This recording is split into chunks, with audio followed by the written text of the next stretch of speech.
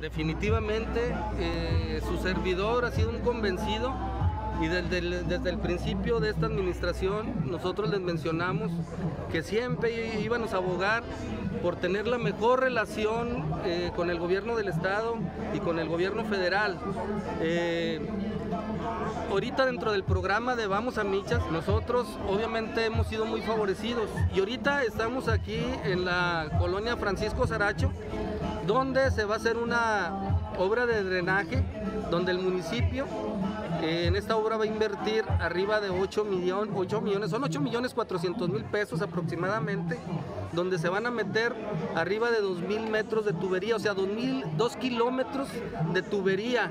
Con esto, aquí en la colonia Francisco Saracho vamos a levantar bandera blanca.